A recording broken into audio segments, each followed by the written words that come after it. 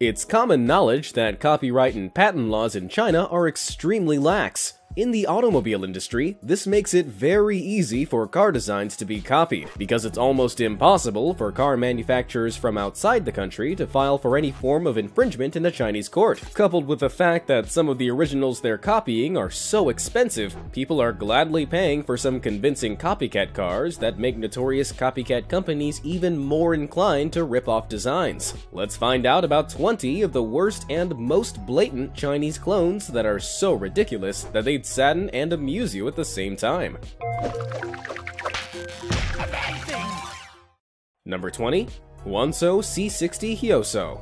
It is no question that the Lamborghini Urus is a dream of a car. It is the world's first super sport utility vehicle that combines luxury, sportiness, and performance with comfort and versatility. Unfortunately, at a price of $200,000, this car remains a dream for most people. It therefore makes sense that several Chinese companies would try to copy this model. Look at this Huanso Auto C60 Hyoso, suspiciously released just a year after the Urus was unveiled. You can definitely see similarities between the grille, headlights, and its sleek design. It's a mid-size crossover that recreates the Urus with some strategic tweaks to avoid lawsuit territory, and it's being offered at one-tenth of the price. Number 19, Geely GE.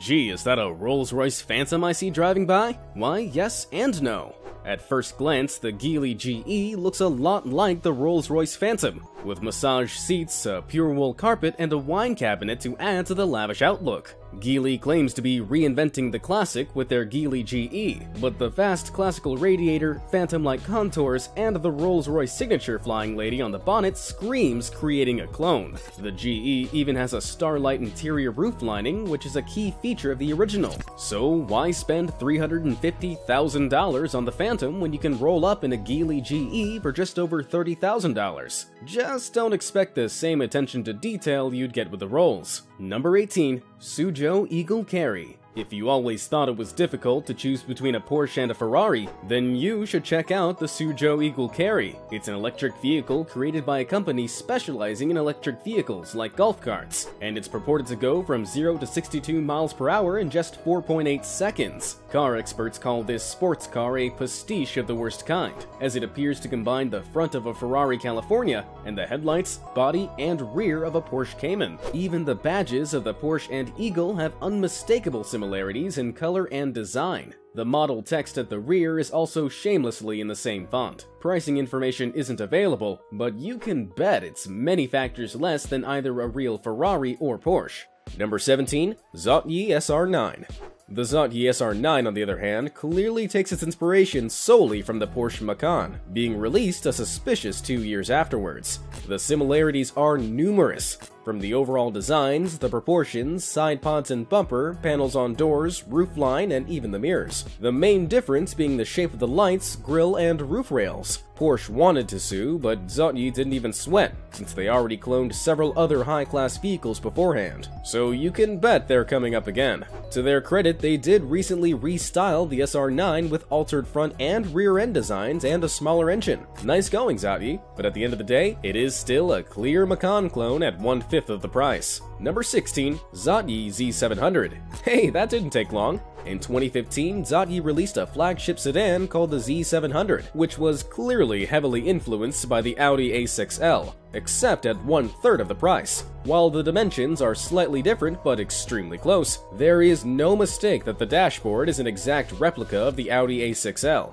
You can judge for yourself. Number 15, K1. K1 or Cologne. Due to its compact size, this car is basically a Mercedes-Benz GLA clone. It's slightly smaller than the real GLA, but they both weigh around 3,000 pounds, and it's styled like the GLA with the shape of the headlights, radiator grille, etc. However, the K1 is fully electric, which proves they took this copy a bit too seriously because they left the exhaust outlets in the design. Number 14, Geely Mary 300. In this instance, it seems that Geely was too lazy to try to reinvent the classic, but just full-on copied the Mercedes-Benz C-Class. They didn't even make the slightest of tweaks. From the front, they look exactly the same, complete with the ornament emblem on the hood. The Geely is simply a third of the price, but no guarantees on the quality. Number 13, Jonway UFO. Jonway Automobile probably should have reconsidered the title of this car because it's easily identified as a copy of the Toyota RAV4.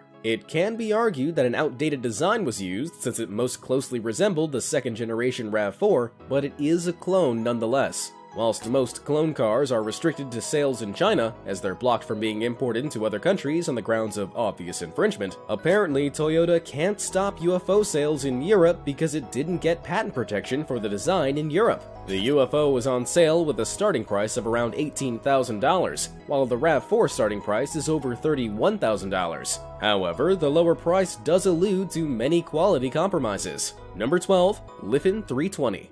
Chinese automaker Lifan Motors is also notorious for creating clones. They created the Lifan 320, which mainly copies the Mini Cooper with a touch of the Fiat 500L. The features, such as different colored roof, roundish headlamps, and dash, are identical to the Mini Coupe. It's known for being one of the least safe cars on the market, with a Latin NCAP rating of 0 out of 5 stars. If you're not too fussed about the whole surviving thing, then you can pick one of these up for around $7,000, which is one fourth the price of a Mini Cooper produced in the same year. Number 11, Lifan Xuanlong MPV. Didn't take long for Lifan to reappear. This one's a copy of the Ford S-Max. Lifan copied the overall design, roof lines, window lines, front windshield, shape of the third side window, and the line over the doors. Of course, it's just a fraction of the price of its counterpart, but just know, choosing between the clone and the real deal might just be a matter of life and death. Number 10, Chery QQ. A few years after the Daewoo Matiz was released, the state-owned Chinese company Chery decided to produce its version of the car, but the result was less than stellar. The cars look almost exactly alike, and many of their parts were interchangeable. Going for roughly half the price of the Matiz, the Chery QQ was said to be so tiny it looks like a lawnmower. Only 11.6 feet long, Chery still tried to outfit the car with 5 doors to seat people in the back. Want to know what is the not-so-Sherry on top? It has no radio or air conditioning. Number 9. Shuanghua Noble. Maybe one of the more brazen clones is the Shuanghua Noble, which is a copy of the Smart ForTwo. Not only did Shuanghua launch the 4.2 in 2007, but they had the audacity to use the slogan, smarter than the rest. That doesn't sound too noble to me. The Noble was priced between 8,880 and 11,800 euros, compared to the Smart 4 which started at 9,850 euros. Production of the Noble ended in 2013, but there are still sellers offering the conversion kits. Number 8, BAIC BJ80. Nope, this isn't the Mercedes G-Class, but the BAIC BJ80. This ripoff is unmistakable because of its shape and the fact that both vehicles look ready to tackle anything. In 2018, BAIC also rolled out a 6x6 version that channels AMG's G63 6x6 pickup. Most recently, China's military named it as the most reliable off-road vehicle, but this seems questionable, since the AMG version has a twin-turbocharged V8 power source, while the BJ80 has a 2.3-liter turbocharged inline-4. In other words, it's 544 horsepower against 250 horsepower. Of course, cost would have played a factor, as the BJ80 is much cheaper than its counterpart. Number 7. Yogomo 330. The Yogomo 330 was announced very ceremoniously in 2015, but it's not like they tried very hard to conceal its resemblance to the Kia Picanto. Despite it being a bit larger, the 330 is still a low-speed electric vehicle, and the only difference to the Picanto are the grills and its mirrors. You can pick one up in China for around $5,000, considerably less than its South Korean source material. Number 6. CH Auto Lithia. The CH Auto Lithia may not be an exact clone, but it is apparent that it was largely inspired by the Audi R8. The front and back of the Lithia is unique, but the side profile, side fins, and roof design are definitely R8-esque. The Lithia is fully electric and powered by a set of lithium-ion batteries that are giving it a driving range of about 100 miles. Compared to other clones, it's relatively expensive, at over $115,000, which is more than two-thirds the price of an R8. Number 5. Lifan 330. So when you make a copy of a popular car and it has poor sales, you have to get inventive, give it a facelift, and make it a better clone. Say hello to the Lifan 330, which is the new and improved Lifan 320, or the new and improved clone of the Mini Cooper. This time they copied the dashboard and placed the digital speedometer in the middle of the tachometer gauge, but the stereo was still round. The Lifan 330 came in three configurations, standard, luxury, and flagship with prices about one-fourth the cost of a real Mini Cooper at the time of production. Despite the price saving, many Chinese consumers preferred to pay for quality, as sales slumped. It wasn't much better than the 320 in terms of safety, but it had a bit more standard safety equipment, which really makes you wonder about the 320. Number 4. Shangji Victory Jinchi X1 It's safe to say that no rapper will be singing about the Cadillac anytime soon. The Shangji Victory Jinchi X1 is a dreadful copy of the Grand Cadillac Escalade pickup. At a glance, they look the same, but on closer inspection, they couldn't be any more different. The Escalade sports a V8 6-liter engine, while its Chinese copy is a modest 4-cylinder 2-liter engine. The interior is also disappointing. It doesn't offer the luxury of the Escalade, but instead is very dull and dominated by cheap-looking black plastics. Well, that escalated quickly. But to be fair, it's not unexpected, given that it's far cheaper. Number 3. Youxia Ranger X In July 2015, Huang Chu-yang, the 28-year-old CEO of Youxia Motors, revealed a design for a high-performance electric sedan. The Youxia Ranger X looks almost identical to the Model S, and Youxia Motors claims that it was developed by the world's leading engineering companies. Um, okay.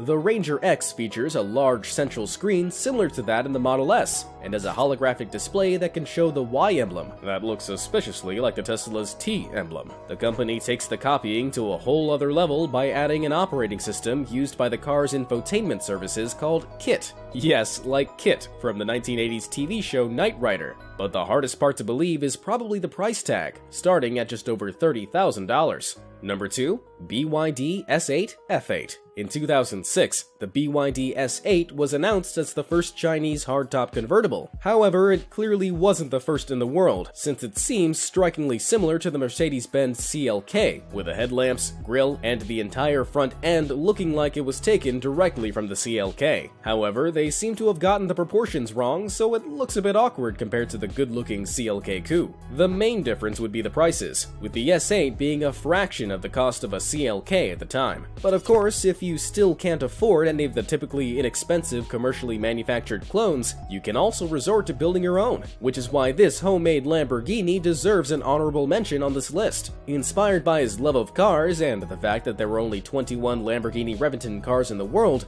Wang Xian set out to build his own. Okay, so his model can't reach 220 miles per hour, but it cost him around $7,500 to build, which is nothing compared to the over $1 million price tag for the real thing. Unfortunately for Wang, he was refused a license to drive his creation on the road, so he would never get to fulfill his dream of cruising the streets with his masterpiece. Number 1. Landwind X7 Let's just say that when the Landwind X7 was announced in 2017, it evoked a lot of controversy. Why? Because it looks just like the Range Rover Evoque first produced a few years earlier. The identical design and paint job is unquestionable. Even the branding across the top of the hood is in the same position. There were only minor differences, such as the Landwind having a chrome stripe over the grille and the headlights looking chunkier. But let's face it, if the branding was covered up, it would be pretty difficult to pick the original from the copy in a lineup up. Both cars also have 2-liter turbocharged 4-cylinder engines, but Evoque has 237 horsepower compared to the Landwind's 190 horsepower. The price for the Landwind starts around $19,600, which is a little over one-fifth of the price of the Evoque. While it's a shame most of these cars have been blatantly ripped off, this blatant stealing is only just being halted. Surprisingly, in March of 2019, the Beijing Chaoyang District Court banned the Landwind and ordered its creator, Jiangling Motors, to immediately stop manufacturing of it. This is the first case of a Chinese court supporting a foreign company in the car industry, as China is beginning to crack down on intellectual property infringements in an effort to strengthen trade talks and American investment in China. But do you think it's too little, too late? Has China been exploiting foreign brands for too long? Or are you happy something is finally being done about it? Let me know your thoughts in the comment section down below. Thanks for watching.